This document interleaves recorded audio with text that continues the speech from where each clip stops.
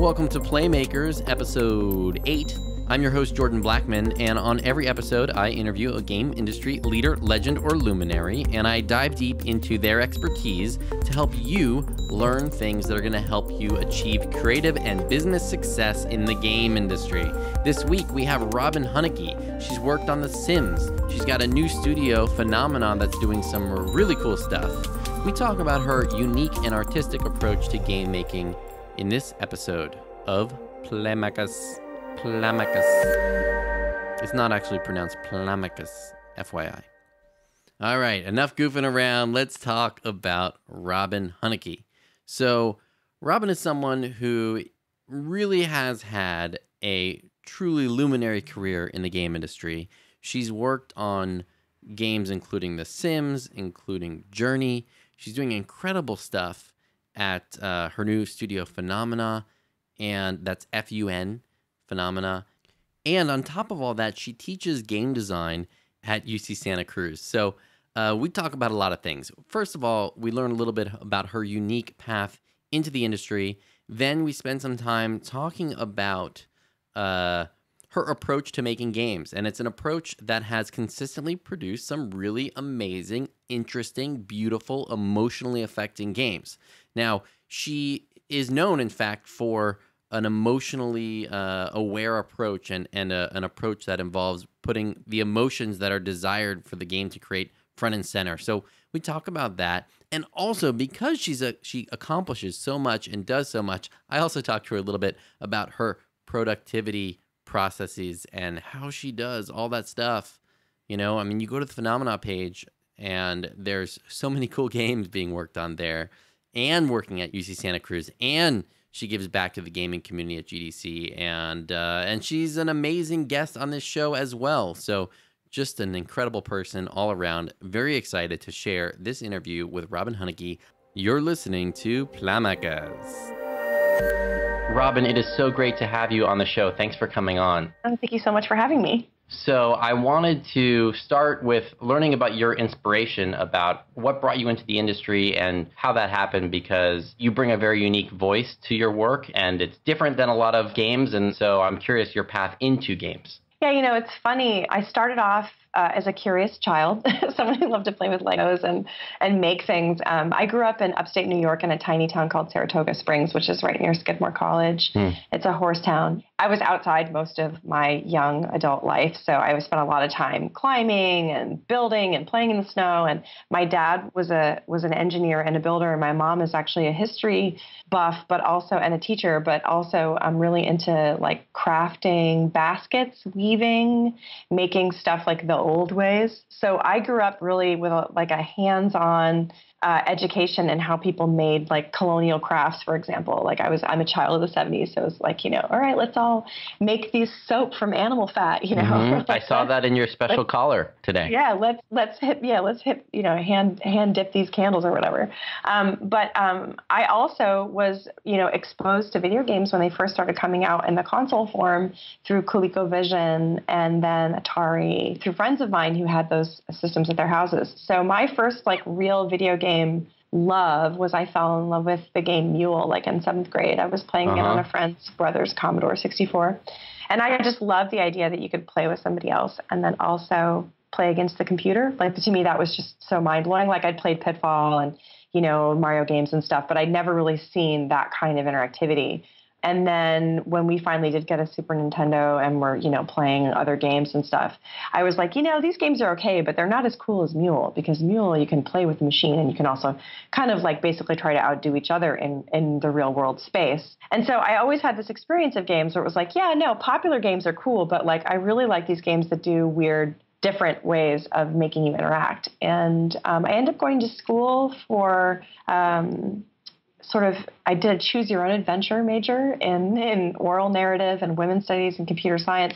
Um, I kind of fell into the computer science thing because I didn't want to take a math class, so I took this class called computer programming as a liberal art, and then I ended up becoming a programmer and really like obsessed almost with like programming and learning how to use computers Um, and actually, when I was taking those classes, the, the, minor was actually math because there wasn't a computer science department uh, at my university, which was the University of Chicago. So I started working in a computer lab, and then I got really interested in working with a, a graduate professor on robots. And one of the people in that team was working on a, an AI that could play The Sims or SimCity for you um, called Mayor and I started talking with that person about video games. I was like, oh, you know, I used to love video games when I was a kid. And right around that same time, Myst came out. And so then I started playing a lot more video games. And so I was in school in my early 20s, like going from undergraduate into graduate school, thinking, wow, you know, games are so cool. What an interesting, you know, thing. And then at some point it clicked with me that they were actually designed by people. That like there was a whole community of game designers. Like will wright was a person that he had designed simcity and then it was like a job. And in that moment i think i i really i probably like just all the neurons in my brain exploded at once. It was like this like massive revelation like this is a career that people do. And from that point forward i just wanted to meet game designers and talk to them about games and how did they build them how did they design them you know, because they kind of combined all of my interests computer programming, sound design and music, art, animation, storytelling. And then, of course, this funky interactivity that you get with games, like the, the interactivity I was talking about with Mule, where you can be playing against a system that's been designed by a person, but then you can also be playing against people that you are talking to about how the system behaves. And then you can play a game with somebody where you're both trying to figure out how the system behaves. And I just, that combination of like human communication with each other and human computer interaction was just it was like so sticky for me and i think it was really the only place i felt at home honestly i went to the game developers conference in 1999 i think was the first time i went um, i crashed on a friend's floor in their hotel room i got a pass by kind of sidling up to someone that was part of the organizing committee and you know basically begging them for a free pass because i was a broke ass grad student hmm. um, and then uh, and pretty much from there you know that was the moment that i knew like okay these are my people like i want to I want to be around game designers all the time. Like I want to talk to them all the time. So I started volunteering with the IGDA. I got a couple of IGDA scholarships actually, so that I could go to more conferences. Oh, that's great. And yeah, and I started volunteering to help um, design a curriculum to teach games in colleges because I was like, well, oh, wouldn't it be so cool if you could actually major in games and game design? Because at the time you couldn't do that and then I think the the other really formative experience for me was I had some friends that I'd met in this period of time when I was like a grad student that organized um, this get together in Oakland where we were all going to kind of uh, get a bunch of machines from Intel and then make games on them and then just give them away for free, which at the time was a really bizarre idea. And we decided to call it the Indie Game Jam, and it was like the first game jam ever. Um, wow. Yeah, and so I was the first female game jammer on the planet Earth. That is so cool.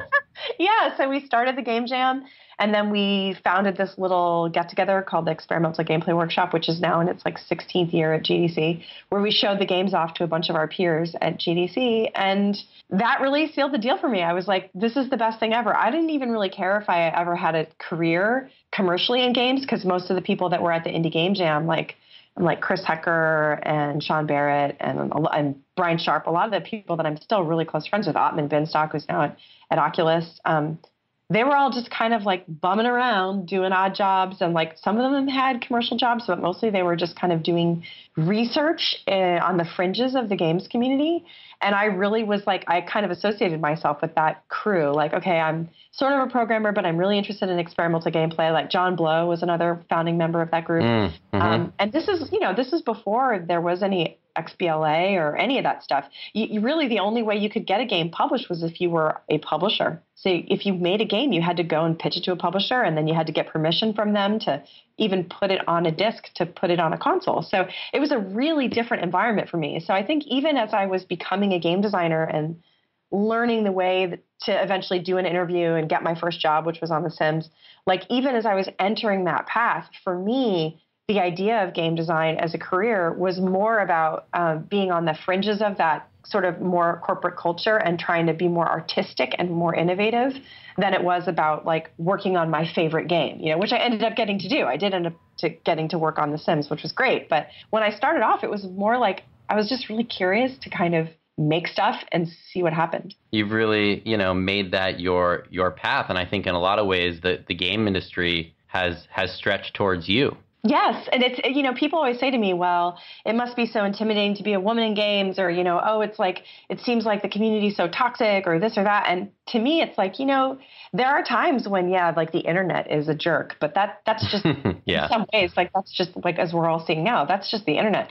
I find that the community of game development, for the most part, and especially the people that I are in my circle, experimental game designers, I would say, are some of the most open, loving, accepting, diverse people uh, on the planet Earth because they're real weirdos. You know, they don't really fit in to any one category. I mean, you don't sit at home alone for seven years making Stardew Valley if you just like could just go anywhere and just check in with anybody. Like you're a really unique individual if you do that. You're the kind of person that is like you wake up thinking about things that will make your game better. And like that's that's not a lot of people on this planet, you know. So I think it's a really special community and one that I'm honestly I'm really honored to be a part of and to see it expand the way that it has in the last 10 years has been uh, it's just been amazing. I I would say over the last 15 years the games industry has changed to become so much more than it was when I first started. And, and I'm really, really excited to see the future of, of that change. One of the things we're going to talk more about your work in a little bit, but it has a very human quality. And I think it's also interesting to hear.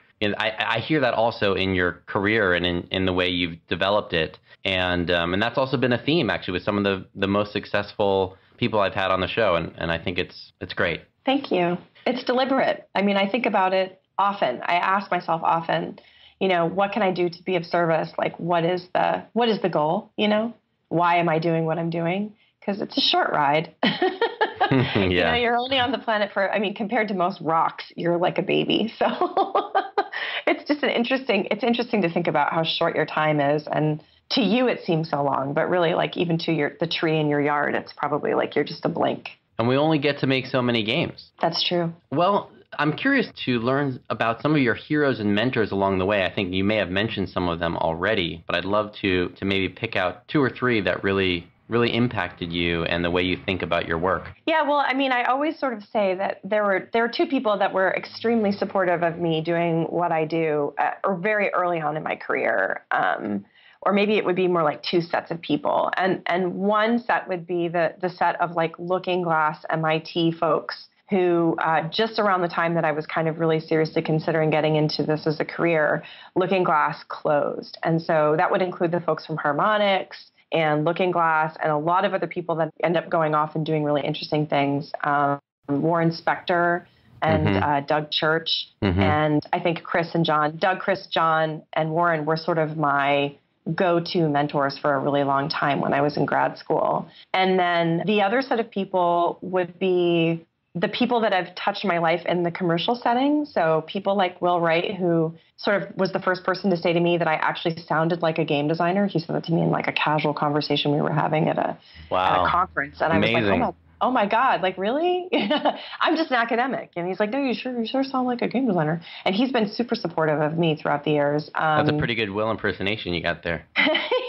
yeah, he's he's so great. I really I really appreciate his brain. Um, uh, uh, Rod Humble also was uh, was a fellow collaborator and someone that really helped me. I, I don't know um, Rod. Who's who's Rod? Rod is um, he was actually uh, sort of running the Sims franchise uh, while I was working there on My Sims. He made a game which we showed at Experimental Gameplay Workshop really early on called The Marriage, which was I one think of my I remember that favorite yeah, one of my favorite experimental games. Yeah, so you're like um, in a um, room uh, on a on a in an apartment. It's nighttime, and you're trying to go out and you talk. Is this the right? No, no, that's actually Facade. Ah, okay, There's I was thinking Facade. Yeah, Facade's also that's another colleague of mine actually who I work with at school now, who is also a real supportive person in my life. But um, no, this is just a very abstract game about two shapes. And it's his interpretation of what makes a marriage oh, work right. or what makes a marriage not work. And they kind of float around on screen. Um, it's a very, very, very, very abstract game. And it's very, very much told from his unique perspective about his own personal experience of marriage. But to me, what it did at the time was it showed me that you could you could really like conceptualize a process that was so intimate and so complex as a series of actions in a space and have it be really moving. Um, and so he was he was also really supportive. Um, and then there are a lot of women in my later career that have been fantastic, including Siobhan Reddy from Media Molecule and Angie Smets, who uh, runs the Guerrilla team that just shipped, uh, shipped uh, Horizon Zero Dawn. Um, they've been incredibly supportive of me as I've um, as I've moved forward in my career, not just as a designer, but as a studio CEO and like a person who's a lead in a leadership role. Um, and Kelly Wallick, who uh, now runs the IGF and Indie Mega Booth. I think those three women have been really, really influential in my ability to see myself as um, as a strong leader who's also sensitive to the needs of others. Because I think we get a lot of role models in leadership contexts, especially where it's like you're supposed to be tough you know um, and uh, and I've learned over the years that the the approach of really having that sort of empathetic like putting yourself in the shoes of the other person first and foremost seeking to understand before seeking to be understood um, those three ladies have really given me a lot of feedback um, about that. I used this question partly to help uh, help me figure out who I want to invite on the show uh, next. So that was great because it was it was a lot of people to to investigate. So thanks for that. Now, as far as uh, as far as the next step in the interview, I wanted to ask about uh, what you do unique. So we talked about a lot of the people who've influenced you. You know what? I'm going to tell you what my thoughts after, but you already used the word several times. So I mean, I believe that games are about interactivity and expression of yourself, and also expression of um, of concepts through action. And so, you know, I while I was in graduate school and starting to do all this outreach work and volunteering and meeting people, one of the things that I started doing was teaching in this game design workshop uh, run actually by a Looking Glass alum, Marc LeBlanc. And we ended up kind of collaborating. I wrote a paper on which he's an author um, about this philosophy of mechanics, dynamics, aesthetics. And, you know, the way that I, I that, have read that. Yeah, that was like, very I mean, influential it, on me personally. That's awesome. I mean, I, I, when I was first exposed to the workshop, I thought this is amazing. Like, let's really delve into it. And I really, I end up dropping out of my PhD in computer science to go work for The Sims. But if I had finished, I mean, you know, when I eventually write a book, which I hope I will someday, it'll be about this this theory because I think it applies to a lot of other things. But you know, this idea that there are the mechanics of the system, which are the rules, the dynamics of the system, which is the behavior that emerges when you're all sitting around the table, say playing poker. You know, it doesn't say in poker that you have to bluff, but everybody does it, right? That's a dynamic. And then the aesthetic outcome, which is the feeling of like schadenfreude that you get when somebody folds and you know that you were bluffing. Like the aesthetic outcome of a game of poker is often that you feel like you're secretly smarter or took advantage of other people. And that feeling of Schadenfreude and getting over on other people is what makes poker such a cutthroat game and so juicy. Even when the stakes are really low, there's that, that feeling of cleverness that comes from it, right? and unless so, you're losing constantly. Well, that's the other which, thing. Which happens a lot. the, the, problem with poker is that three people at the table, three to five people, have this, the, the opposite experience of you. Yeah. when you win. And I'm actually terrible at poker because my tells are, are too big. So I don't play it professionally by a, by a long shot. But but this is like, you know, this idea that like the feeling or the outcome of the game is a unique expression of its rules and then the interaction of its rules with people has mm-hmm. been the cornerstone of my career. And so when I started thinking about, well, okay, if that's true about games, what I want to build well, I want to build games to give people new feelings. I want to build games to give people feelings about other people. I want to build games that give people feelings of understanding or appreciation, love, sadness, loss, recovery. Like, I'm really interested in topics that are about the things that I feel other media doesn't necessarily address as well. It's a lot harder, I mean, to, to really understand what someone totally different from you is going through um, if you're just reading it or watching it because there's always that room for you being outside looking in. But if you're doing it, if you're walking in that person's shoes moment to moment and having to make tough decisions based on their situation, which you are embodying, mm-hmm. there's there's a moment in there which is so unique to games. And I think the sort of sort of sad truth about games is it's very easy to make a game that's as entertaining as a very popular, you know, um, explosive summer blockbuster movie or that's as entertaining as um, you know uh, a novel that's um, you know based on this idea of like there's a bad guy and you got to get revenge. Like those kinds of things are really easy to do with a video game, if, especially if the mechanic that you put in the video game is like shooting or jumping, because shooting and jumping are really easy to execute on screen, and then you can just slap the story on, and there you go, right? And like those are the things that we're really best at. Well, but, we, we know what the aesthetic outcome is very. We we already understand it, and therefore we can we know also that those mechanics are then going to drive through it's those 100%. dynamics and get there. Exactly. It's like you don't even have to really do that much work. The really hard thing to do with a game is to is to make it be really good at what it's uniquely good at, which is using a set of mechanics to create new dynamics in a person that then create this totally unexpected emotional outcome. So like something like Journey, where Jenova was like, I want to create a genuine connection between strangers online. When we work backwards from that feeling to, okay, well, what's the dynamic that would really be existing between these two people such that they would feel awe and wonder towards each other and awe and wonder towards the unknown? Okay we work backwards to the dynamics. We go, okay, well, they'd trust each other and they'd help each other and they'd want to guide each other and they'd want to support one another. Okay, well, then what are the mechanics that lead to that? And like, I'm not going to lie, a lot of the stuff that we tried out was just like platforming. And we even actually at one point, as a joke, implemented a, a, a, a laser cannon idea from the sky hmm. just to do it for stress relief. But, but for the most part, we had to work through a lot of really like kind of commonplace mechanics to get to the few simple things that Journey does that create that feeling of trust between strangers and eventually lead to that connection. You know, it was really a process of winnowing out. And so for me, I really am interested in that work. I'm interested in thinking about, okay, what if I made a game about lust? Or what if I made a game about recovery? Or what if I made a game about grief? And then work backwards. Okay, well, what would the dynamics be between the player and the characters in that game or the players that were playing it? And then work backward to that and figure out, okay, what are the rules that the system needs to implement? That work to me is the most fulfilling and interesting work in game design. And, you know, I love playing games that are not that.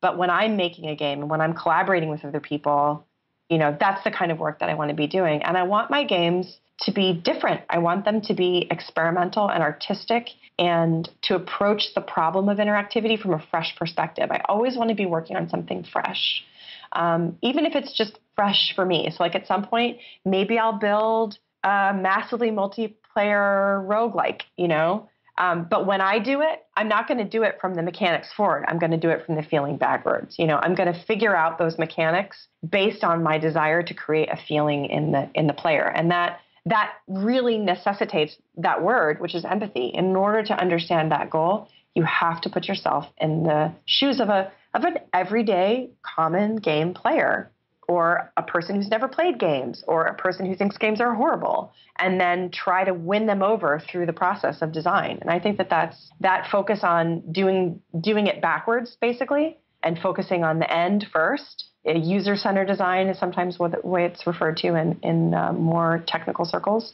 That process of user-centered activity requires being in the footsteps of that user and thinking about who is the player and why are they playing my game and you know what are they going to get out of it? I want to back up for a second and make sure the audience is is with us because uh, the audience is is not is even not just game designers. So when you're talking about mechanics dynamics aesthetics we're saying hey what are the rules of the game? That's the mechanics. Yes. The dynamics are the runtime, unpredictable ways that those rules are coming together to create some sort of experience, and the aesthetics is the the effect in the person who's playing. How does it make them feel? What is the subjective quality? Exactly. Exactly. And so, for example, in, in Journey, which is a game in which you journey to a mountain and you see another person in the distance, maybe, and you can connect with them, what we did was we built an online multiplayer system where you just walking through the world and this other person appears. Normally in online multiplayer games, there's a lobby and you go in and you're dealing with all this stuff, trying to get matched up with someone at the same skill level, blah, blah, blah. We just got rid of all that and made it so that when you're in the game, you start playing. If you're online, other people who are playing online near you show up in your game. And we created a server that made that seamless online connection the focus of the gameplay.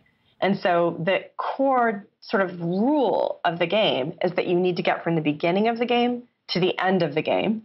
And then the other kind of rule that's in that world is that when you are close enough to someone else who's playing, but not so close that they're just going to pop into your universe, they become visible to you. Mm-hmm. So we basically hide all the people that are playing the game except one person. and you can connect with one person at a time. And this idea of having a long journey and only being ever to see one other pilgrim on the same route as you go means that you have a choice as a player. Do I stay with this pilgrim or do I leave? Do I try to you know reinforce the connection with this person and call to them and dance with them and spend time with them which has its own rewards or do i walk my own way? And that just even making that decision is a huge it's a huge difference from the way that most online games are made. And that's just simply through the design of, of, of the mechanics and the resulting dynamics you know as you've explained it and explained the Jenova's idea of having a game where you could have a real connection with someone online the insight that I had was it has this feeling of loneliness. Of course it does, because if you want to connect with someone, you have to first make that you know put the put the people in some amount of isolation. Then suddenly the person you interact with, you know, is a warm fire. Exactly. And so, you know, when we were starting to think about building Luna, you know, one of the things I really want people to understand about this character is that the character has made a mistake. And so, you know, when we make games, a lot of times they're about getting revenge or like correcting a mistake, going back in time and fixing something so that like it's better for everybody. But that's not really how life is, you know? Like in life, you make mistakes and then you have to learn to live with them. And learning to live with your mistakes sometimes means giving up on a relationship or apologizing for something that you said. Sometimes it means letting go of a toxic relationship in your in your family or in your life. Sometimes it means being very angry and then letting that anger go. But like mistakes are not something that you just erase from your life, right? And so when we when we talked about the game, we first started making the game, Martin, my co-founder, was like, "Well, what what should we be doing?" I was like, "We should think about this question, you know, of mistakes." And so actually for the first I would say maybe the first year while we were doing previs and I was like folding paper and doing all these things about transformation and looking at transformative art and fairy tales and the idea of a mistake in our culture, I did one very specific exercise with everyone I met. Every new person that I met, whether it was a cab driver or a friend or whatever, for about a year, I would ask them, why do people do things that they know are bad for them? Because in a way, a mistake is kind of like if it's an accidental mistake, we don't really punish ourselves so much about it. It's when they're deliberate. It's like I made a choice and it turned out it was really bad for me, or I made a choice and it turned out it was really bad for somebody else. And so I thought, okay, well, I'm really interested in the specific mistake of like knowing something's not going to be good for you, but doing it anyway. So I'm going to ask everybody about that. And I think what you learn as you as you begin a project like that from that perspective of what's the feeling is that you learn so much more about people if you can be open to that kind of practice. And you know, people would tell me all kinds of stuff. Sometimes people would say, well, they do things that they know are bad for them because they don't care and they just like the thrill you know, sometimes people would say, well, it's because they think the benefits are going to outweigh the costs, and then later they realize they didn't.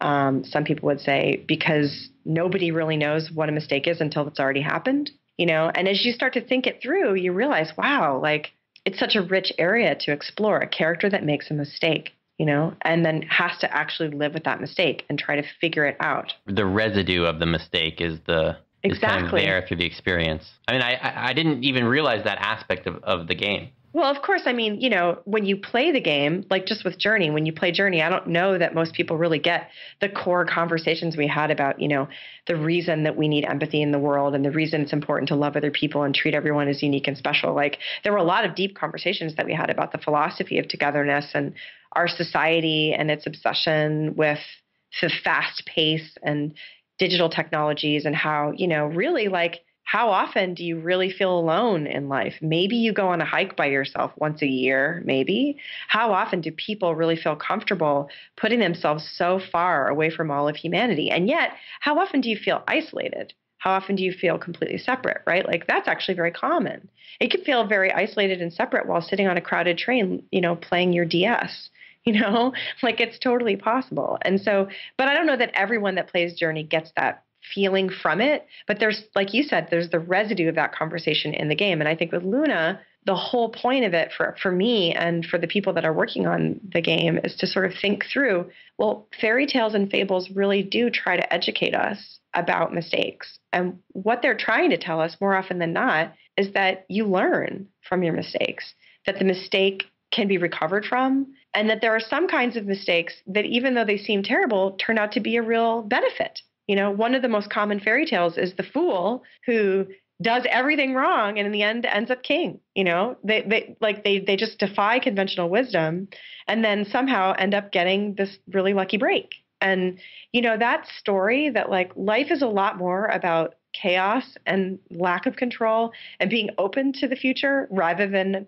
being about doing everything perfectly. I mean what an amazing message to even even if it's just subconscious to get that across i think it would be so important and healing for for society. I mean to get us away from this idea that we can do everything right the first time which really honestly i think if we could we would we would be robots and and and that wouldn't be so fun. And the mistakes are how we learn. They're who we are even before we make the mistake. Exactly you know, there was a, a piece that we listened to on NPR when we were first starting to work on Luna about a family that had a trauma in its past that had kind of hidden the trauma from future generations.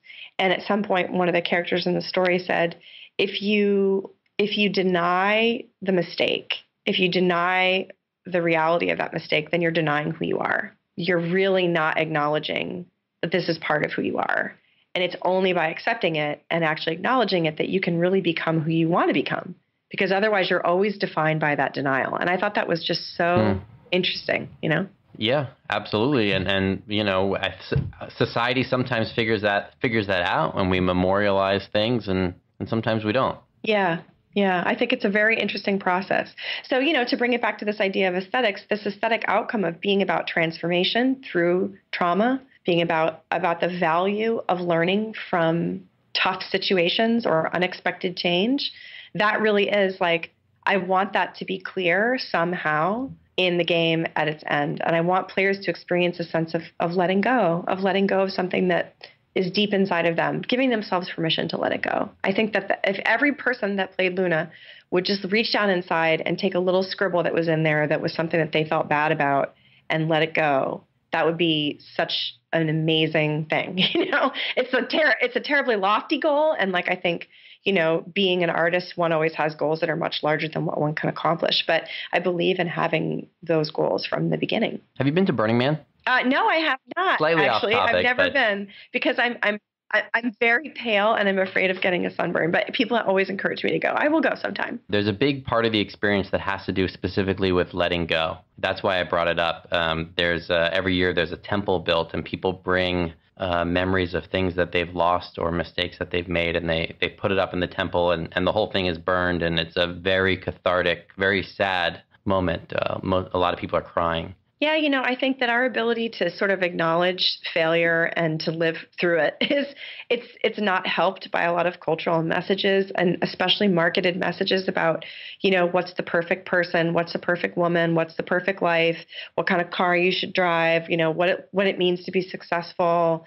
Um, I have friends, I have a lot of friends now who are in their 40s and 50s who are saying to themselves, you know, I'm going to give myself permission to stop working in this career path and do something I really love. I'm going to go to Burning Man and build something huge in the desert and set it on fire. That's actually something that someone said to me literally day, literally days ago, um, who'd spent a long time um, building a career for themselves. Um, they're an immigrant. They like worked super hard and they got to where they are now. And they realized, you know, this ladder kind of, it's like I'm on the last rung now. Like I'm here, I made it, and now I want to do something else. And like confronting that is so hard. It's so scary. And at the same time, it's like, if you don't confront it, I mean, you're not really living, right? That's that's I think when I when I when people ask me why I like game design, I say I love game design because it is so hard. it is so hard. I ask my students all the time, like, okay, let's let's say you wanted to make a game about a child that you had that died of cancer. How would you do it? Like, how did Ryan and his team come up with the ideas for That Dragon, Cancer. What, like, really ask yourself how do you make the experience of being told by a doctor that your child is going to die in three months a, a, thing that is interactive, that also is respectful of that process, and also gives you a sense of what they went through. Like, how would you do that? It's so hard, you know? How do you build a game that's all about perspective and looking at the world from a different perspective? Like, you have to basically do all this integrative and innovative graphics programming you know when Jon built the witness he had to do a lot of work on the game engine side to make the puzzles in that game possible. Like it's some of the most amazing programming i think in a video game.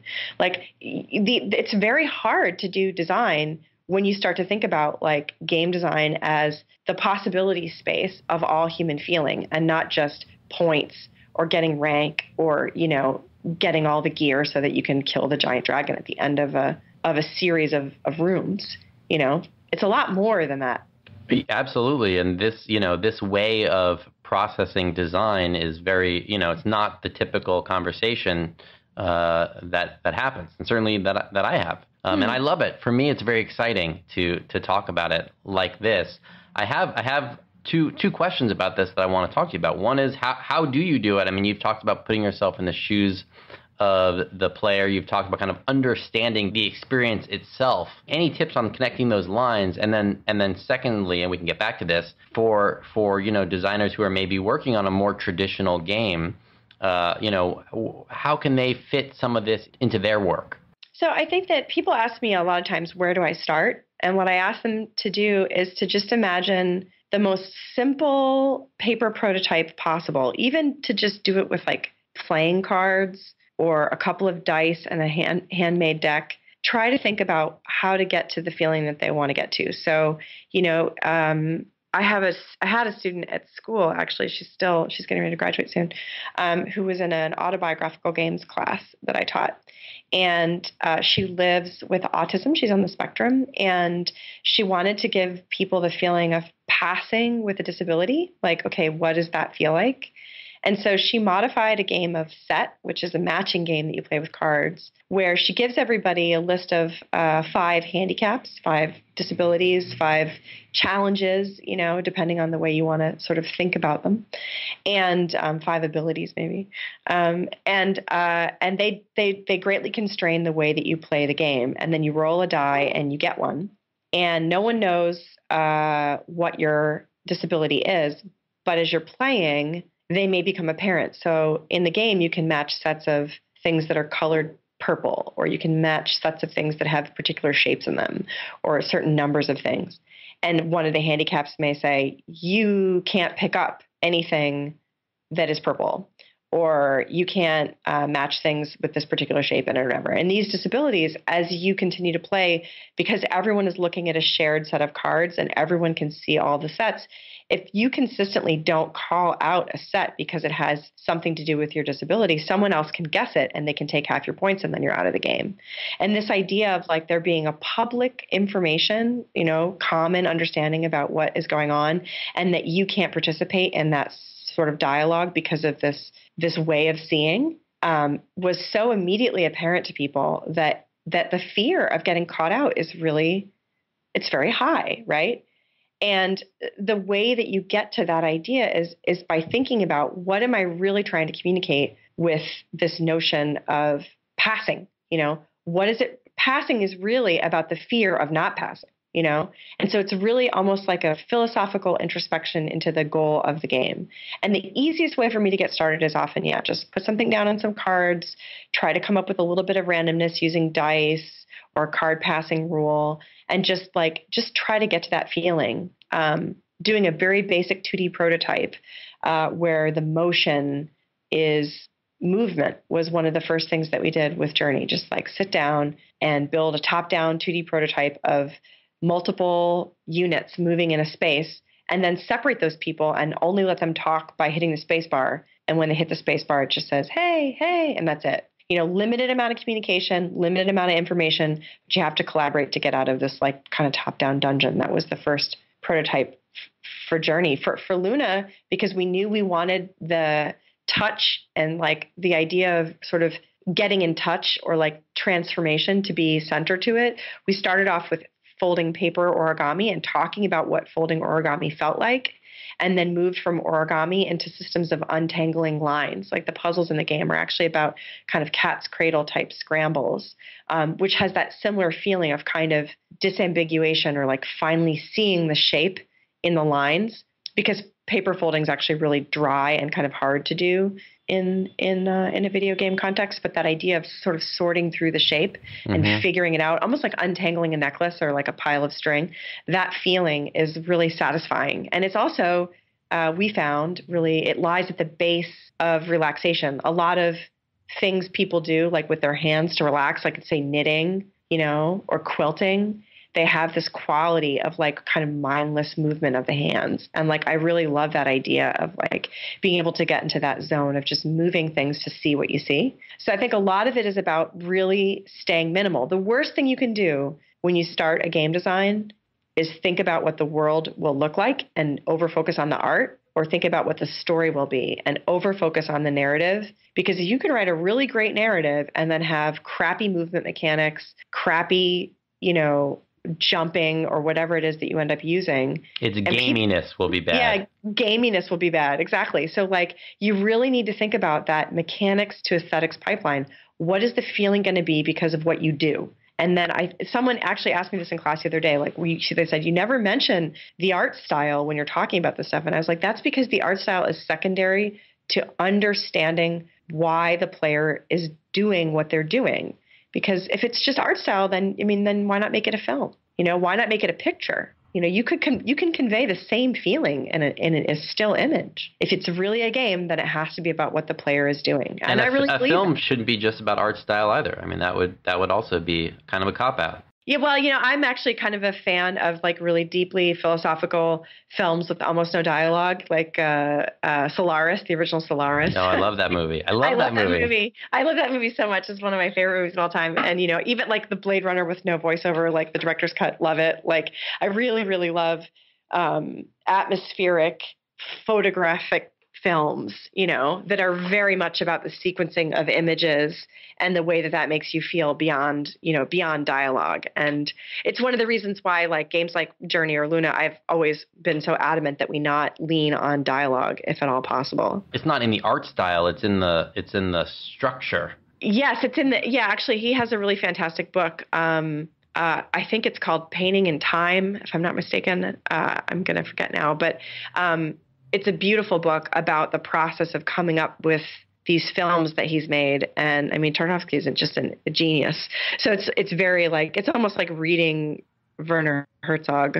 It like has such a has a deep quality to it. But right, um, yeah, no, they're very much about juxtaposition. Yeah, penetrating. Exactly. That's a great word for it. In a way, you helped me actually discover what I think the answer is. But my question was about you know for for maybe uh, game designers who aren't, you know, whole cloth coming up with a new concept, oh, right. but working within the constraint of a of a pre-existing, you know, design or a pre-existing uh, brand. How can they, you know, bring some of that in to what they're doing? So when I first started working at The Sims, I was just working on The Sims 2. I was working on an expansion pack open for business and responsible for object design and working with all the animators and engineers to make objects for the expansion pack. And it was like honestly one of my favorite jobs of all time because I got to play my favorite game mm-hmm. and and I didn't have any direct reports. And so I could just go to work, do awesome work and then go home and play more games. And so it was really low stress, high impact. But then eventually I got promoted to work on a new version of The Sims for the Wii, which hadn't been released yet. So this was one of EA's very first Wii titles called My Sims. And My Sims was supposed to be a game that would be more casual than The Sims. And because it was a console title and it was going to be coming out on the Wii, we really wanted it to resonate in Japan. So spent a lot of time in Tokyo and Kyoto interviewing girls who could potentially become Sims fans. Mm-hmm. But, you know, Sims hadn't really picked up in Japan. So there was like a lot of discussion about why. And one of the things that I decided to do when I was working on the game, um, my friend Joe Maris, Maris actually was the one that um, talked to me about doing this. He said, This is the core flow of The Sims. And he kind of drew that out for me. And then he was working on Sims Castaway, which is one of my favorite Sims uh, offshoots. And he's like, this is the core loop of Sims Castaway, which is really about finding objects and crafting stuff. And he was like, What's your version of The Sims going to be? What's the core loop going to be about? And I went and I looked at both of those loops and I decided that, like, the aspect of he had really focused on this idea of doing more with less because The Sims is generally about buying stuff and he was like, well, okay, if you're on a desert island, you have to build everything from scratch. So the whole game is going to be about this cool crafting system. And for me, I, I really loved the idea of crafting and I had really loved Animal Crossing. So I was like, what if this was a really chibi style version of The Sims? But instead of crafting for yourself, you were crafting for other people. You were giving things away. What if the fundamental loop of The Sims in this game wasn't about getting more stuff to get promoted, but it was about giving away things to people who wanted to move to the town so they could basically start their own little business there. Ah, so you start okay. you start off with a little town that's empty and then as you basically collect items and build furniture for these these little people out of like pixel blocks basically they can start their own little setup in your town and they come to the town because you've basically welcomed them with these gifts. And the more you do that the more diverse your town gets the more interesting it gets. And then there was the second part of the design which unfortunately did never get built out due to just platform constraints but i had really wanted it to be online so that you could have a little town of my sims who were the ones that you had chosen to support. Like, let's say you really liked the gothy ones and um, you really liked the foodies. That was another set of, of characters you could get in your town. Um, you could keep uh, like a Sporto sim that was really into athletics and then just send them to your friend's town to hang out with the other Sportos. And then they'd come back and they'd bring cool presents. So that the idea sort of which is very typical for me now that I look back on my career was that your town could be special for you in the sense that like you would put together the characters and the little play sets that you liked, but it could also be inclusive of somebody that was just kind of different and still celebrate their difference in a way that didn't compromise your vision for what the town should look like. And I really, really like that idea now that I now that I've gotten some some distance from the game. It's been a long time since it was built. You know, even though that feature never got implemented because the the Wii didn't ship with an online capacity right away. Um, I still I still think that this idea of giving things away um, to to build a diverse community and then letting people come and go as they please as a way of getting sort of revitalized and and rejuvenated and bringing their creativity back to the to the center is those are just really interesting ideas. And I, I, I always think like I'd love to do another game like that where the online really was a strong component and you could you could kind of care for a little group of creatures or people or whatever and still have them not need to all be the same in order to get along. In fact, actually, if you think about it, Wattam, which is one of the games that we're making here at Funomena, is a little bit like that. I think a lot of Keita's vision is similar, and that it's about a lot of different people, little people that are all different, but they all get along to create ultimately to create a shared common goal. And so, you know, those kinds of ideas, you can work them into a very big franchise. You can even sort of do a franchise split and still have it remain core. Like the Sims games are still Sims games, but you can kind of look at the core loop and then just make an adjustment for feeling. And like in my case, this was an adjustment to make the game feel more focused on community and building community. Um, I think that that's actually a really fun exercise. And I often tell young designers who are like, "Oh, I really want to make my own game, but I have to go get a, a, like a regular job working on someone else's game." I always tell them that when I first started, that was one of the best things that I did in my career was working on a game that someone else had already designed, just learning how games work, seeing how the sausage gets made, you know. Yeah, absolutely. And like and like getting good at meeting my commitments and like managing my time. Like those were so much more important than my gigantic game ideas at the time. Um, and I think it's something that we overlook, especially early in our careers. I just had a similar conversation with someone who was who was out of school and, and uh, wanted to to connect with me. And it's like, hey, in two, three, four years, you can you can still revisit those ideas, that company, uh, and you'll be so much better equipped. Oh, totally. Yeah, there's so many little things that you don't learn in school. You know, um, it's imp- it's so important to be able to communicate with integrity and honesty and to let go of your own failures and other people's failures not hold grudges against yourself or other people on your team not start fires you know all these things. And you know not to say that i have nailed any of those. I mean i'm just as bad as anybody else when it comes to being totally honest and, and confronting things when they present themselves as opposed to putting it off. But but those are the things that you have to learn through practice. And it's like you can take a class in it in school but you can't really learn it in school. You have to learn it on the ground. And being able to do your job really well while learning that i think is really important. Hmm. well i actually wanted to ask you a little bit about that because you know with everything you do the teaching running the company designing and all the community work you do you must be some sort of productivity guru.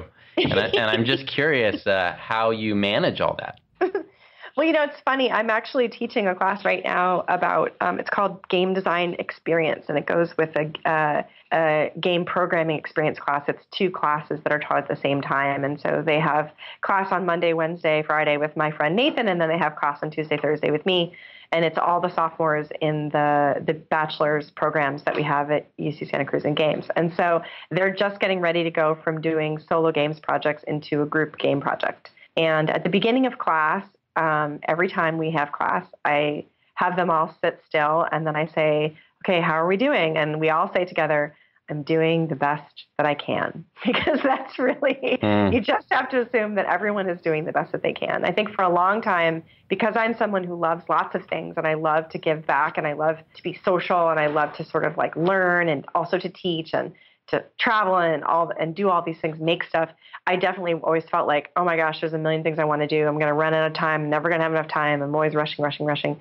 But as I've gotten older, I've actually learned that the most important thing is just taking the time to focus on the goal and to think what what am I doing and then to do that as best as you can. And so I make them use a tool which I just started using last year um, on the advice of one of my my older mentors, Bob, uh, Bob Bates, who's an old uh, game designer, uh, like a very very classic, uh, you know, text based adventure game designer who's like really kept up with the industry and written some really great books, and is still I think one of one of the one of the more influ- influential people in my career. Um, him and, and Noah Falstein both. And uh, Bob was saying like this book is so great, and the book is called The Productivity Planner and it's you can buy it on Amazon. It's like 25 bucks. It's black and it I get the one with uh, it's undated so you can put your own dates in it. And it's a process by which every week you write down the top 5 things that need to get done that week and then the next 5 and the next 5. And I kind of think of those as being urgent and important uh, urgent and important. so really like stuff that's like kind of crisis mode or needs to get done really quickly, it just popped up out of nowhere. Then the stuff that is like you need to do it because if you don't do it in the long run, it's going to be a real pain. And then the stuff that like you really think is important to do in your life and you want to plan. So like you bucket those things out for each week and then on every day you sit down in the morning and you write down the number one thing that you want to get done that day and you don't do anything else until you get it done. And the process is very helpful for me.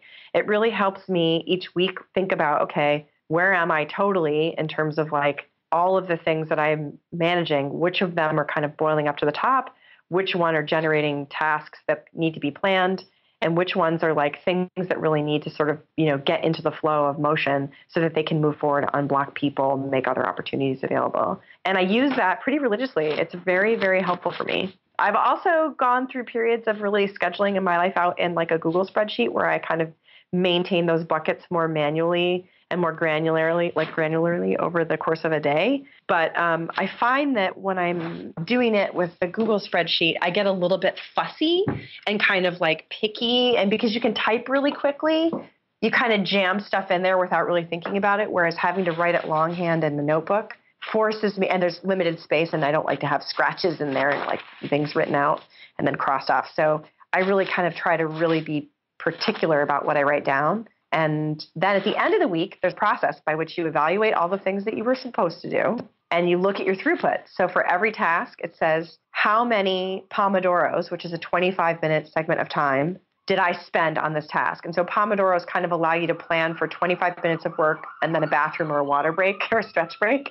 And um, it's a very healthy way also to sort of portion out your time. So I, when I was younger, especially when I was programming and in grad school, I would sometimes just stay at home in my pajamas for a week, you know, drinking coffee and not sleeping and programming and just being totally obsessed with making something work, right? Um, and as I've gotten older and really learned what my strengths are, um, and what rejuvenates me, I found that it's really bad for me actually to be locked away for days at a time, just answering email or just drawing or just programming or just, you know, you know, making plans and schedules. Like if I if I really do that, I get a lot done, but by the end of it I feel really um inhuman. Burned like, out. Yeah, just just just yeah, just like yeah, crusty and fried and like not happy. And you know, one of the core things about Funomena when we started the company was that Martin and I really wanted to build a deliberately developmental organization that allowed all of us to get to the place where we could plan our days not just based on what needed to be done but on what was important to us and what our values were. And i think it is really hard i'm not going to lie it's really hard to run a commercial business that way because so many other businesses that you're interacting with are not run that way like you'll get email from a publisher at you know midnight on a Sunday, and you know get in in the morning and think, oh my God, I didn't answer that email. It's like, well, of course you didn't. You were asleep. You know, but you know when you when you encounter other work cultures that are toxic and that don't actually deal with goal setting and specific measurable throughput kind of analysis towards those goals then it's very difficult to maintain your own process in the face of that. But if you do it yourself personally, it's easier to lead by example and to show others that it does work and that you can have effectively a really fulfilling life where you do the things that are important to you because they're important to you and you let go of the things that maybe you might assume you need to do that you don't. Like, I don't really spend a lot of time watching television. I don't watch television. I've never seen Game of Thrones. Like, I don't. I don't watch TV. It's pretty good.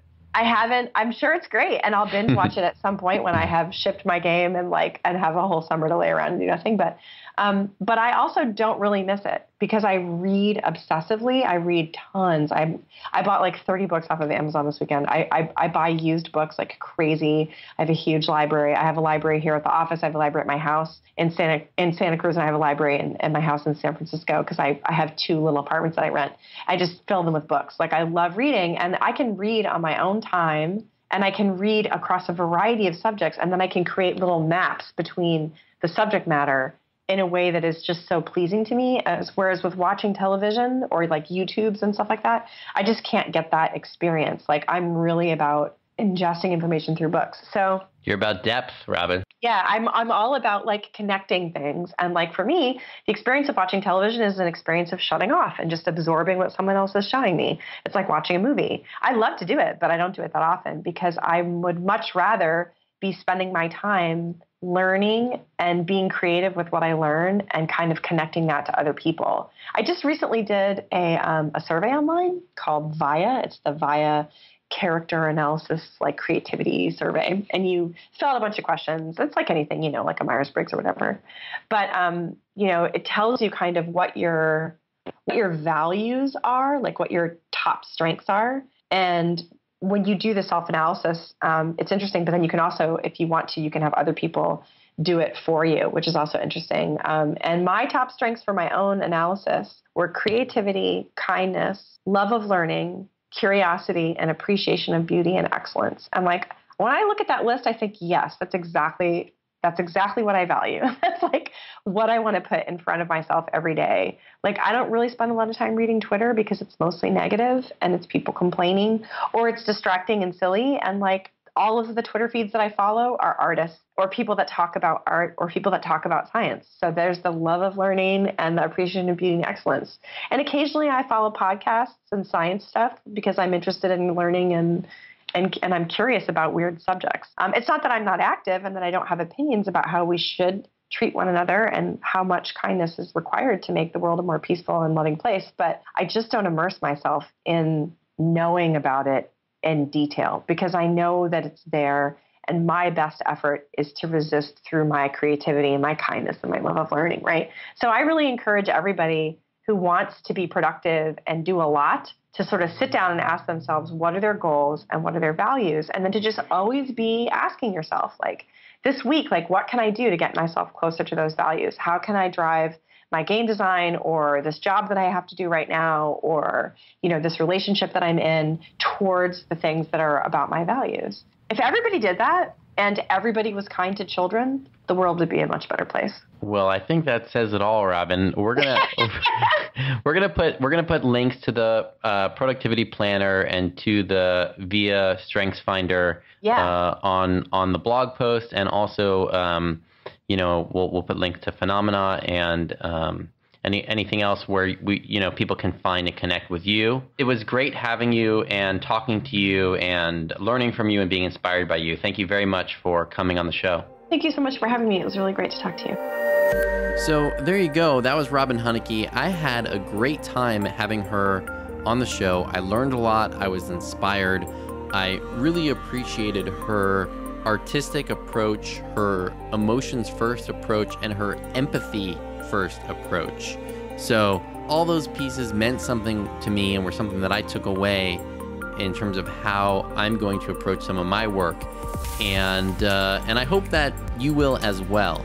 And if you are getting something out of these interviews, if you're finding them useful, if you're finding them inspirational, if they're impacting the work that you're doing, I would love to hear about it, either shooting me an email, jordan at brightblack.co, no M, or if you would write a review on iTunes. And you can do that obviously just by heading to iTunes and doing it the usual way, or if you head to playmakerspodcast.com.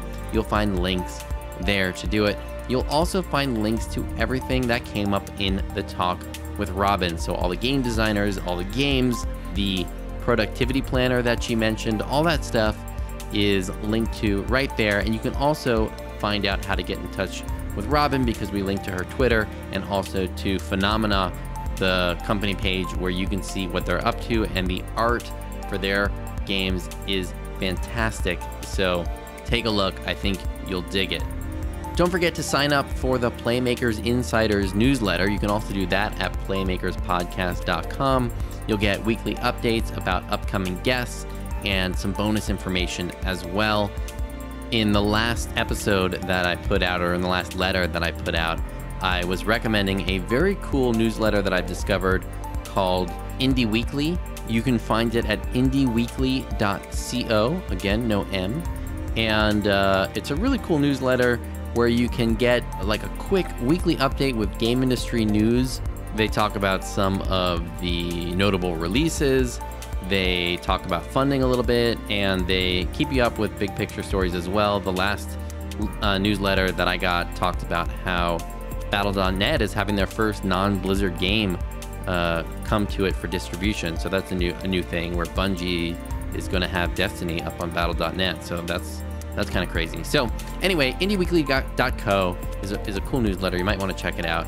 And Playmakers Insiders is pretty cool too. You can check that out at playmakerspodcast.com. That's all I've got for this episode of Playmakers. I sw- that joke's going to get old. That is going to get old fast. All right, I'll see you in the next episode.